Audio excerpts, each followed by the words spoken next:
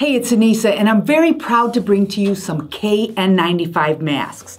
Now, these masks are going to keep you safe when you're out in public against germs and bacteria. Now, one thing I want you to know every purchase you make allows us to donate to hospitals, first responders, and home health care workers. Now, these aren't any ordinary masks. We've done our due diligence to bring you a quality mask.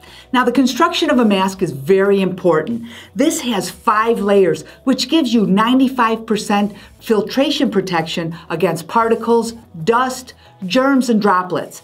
Now, you'll see other KN95 and N95 masks on the market, but some have only three layers. Now, we wanted to make sure we had a good quality mask, and this one is five layers, and we verified it by slicing it open and counting the layers.